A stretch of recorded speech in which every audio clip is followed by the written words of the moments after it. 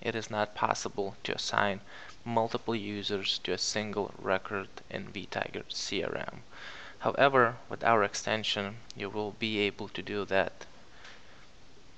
If we add a project and then we're presented with an opportunity to select team members which will be part of the project which are vTiger users and as I select them and save the record it will automatically create a group and assign the project to that group.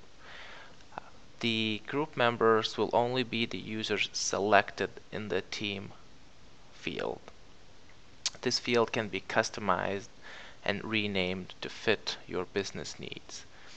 If we go to CRM settings, other settings, a team module,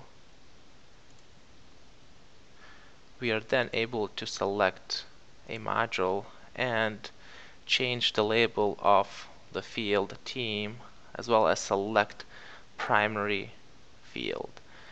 In this case we use the assign to which allows us to update the assign to to a certain group. However, you could set it to use a custom field which would create an additional assign to field on the record and allow that field to be updated with the users that you select. In most cases, the custom field function is used to enable notifications for different team members who should be receiving notifications as the project gets updated based on the workflows that the system admin has created.